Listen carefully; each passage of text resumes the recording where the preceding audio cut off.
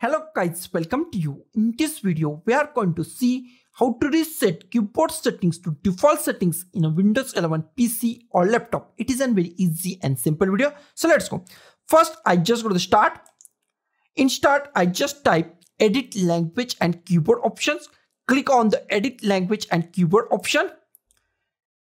Here we find our all install language. If you install multiple language, then it show multiple language. If you install only one language, then it is show only one language.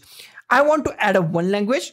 Click on the add a language and I install any language. Just install any language that you want. I just install English. I just type English. You can install any language. Just select any language that you want I just select Canada. You can select any language and just click on the next and click on the install.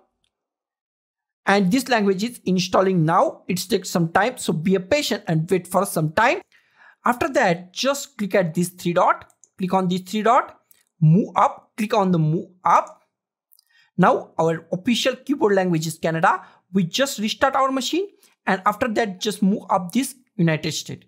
Close this go to the start. Power button. Restart. It is restart your machine. After machine is restart just go to the start. Type edit. Language and keyboard options. Click at here. Here we find our own language. I want to reset my keyboard settings on english language with united states. So i just click at this three dot and move up.